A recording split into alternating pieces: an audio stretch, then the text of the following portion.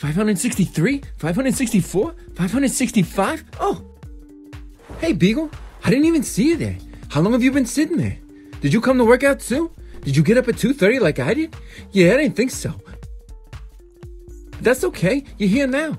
That's what matters. You got a lot of spunk and I like it. So how many push-ups can you do? How much can you bench?